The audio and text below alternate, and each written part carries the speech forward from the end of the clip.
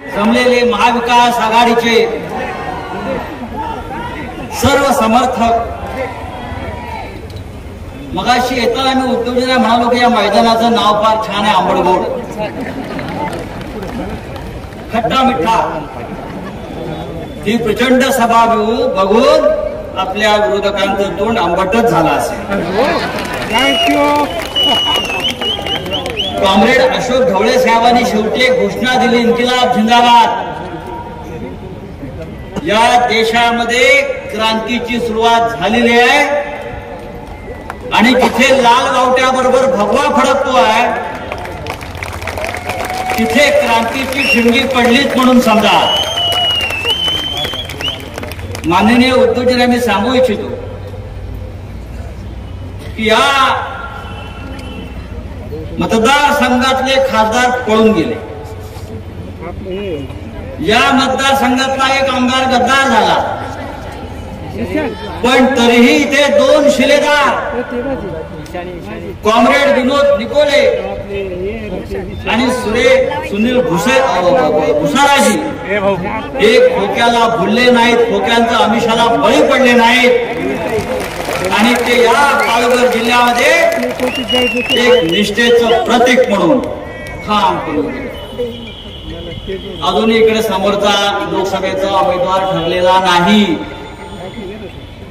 बहुतेक भारतीय कांबळे तुम्हाला विरोधी व विरोधात कोणी असेल असं मला दिसत नाही आपण बिनविरोध निवडून येऊ शकता. आणि कोणी उभं राहिला एखादा गद्दार? तरी काळजी करू नका.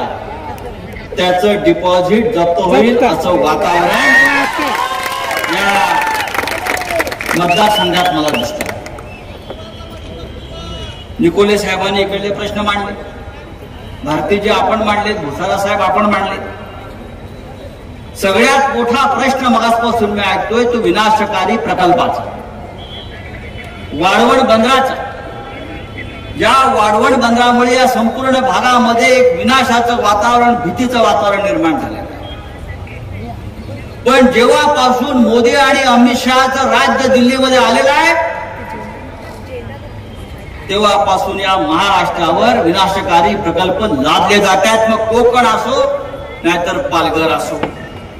तिकडे पाल त्या आमच्या कोकणामध्ये विनाशकारी रिफायनरी जाणल्या त्याच्यामुळे शेती मच्छीमारी आंब्याच्या बागा सगळं नष्ट होत.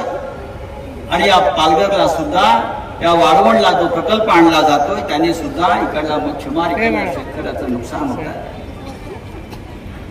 मोदी आणि शहा हेच विनाशकारी आहे मोदी आणि शहा हेच विष आहे आणि हे विष आता आपल्याला नष्ट केलं पाहिजे. काल अमित शहा आले महाराष्ट्रात.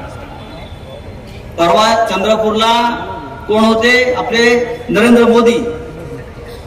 प्रधानमंत्री कार्यवाहक. कार्यवाहक प्रधानमंत्री आहेत. खरं म्हणजे जेव्हा निवडणुका घोषित होतात तेव्हा प्रधानमंत्री म्हणून त्याला राहण्याचा अधिकार नसतो. मुख्यमंत्री म्हणून राहण्याचा अधिकार नसतो. पण सरकारी फौज फाटा आचारसंहितेचा भंग करून येतात. या महाराष्ट्रात. आणि काय बोलतात? अमित शहा आणि हे मोदी उद्धव ठाकरे यांची शिवसेना नकली आहे. शरद पवार साहेबांचा राष्ट्रवादी काँग्रेस पक्ष नकली आहे. अरे हा डुप्लिकेट माल गुजरातचा. आम्हाला नकली बोलतो. येऊन पहा नकली काय आणि असली काय.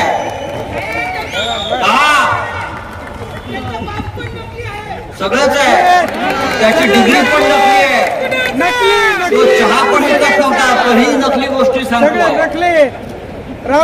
या शिवसेनेच्या वाट्याला जाऊ नका ही बाळासाहेब ठाकरेंची ओरिजिनल शिवसेना. आमच्याशी टक्कर घ्या. तर या महाराष्ट्रातच तुम्हाला काढलं जाईल. ढवळे साहेबांनी नारा दिलाय की भाजप मुक्त महाराष्ट्र आपल्याला करायचं. आणि तो नक्कीच होणार. काय देतात मोदी घोषणा? चारशे पार अब की बार चारशे पार. लोकशाही का तुमच्या बापाची आहे? चारशे पाच हा अहंकार त्याच्यावर उद्धव साहेबांनी छान उत्तर दिलंय. अबकी बार भाजपात तडीपार याला लाटा मारून बाहेर काढलं आवाज फक्त शिवसेनेचा राहील.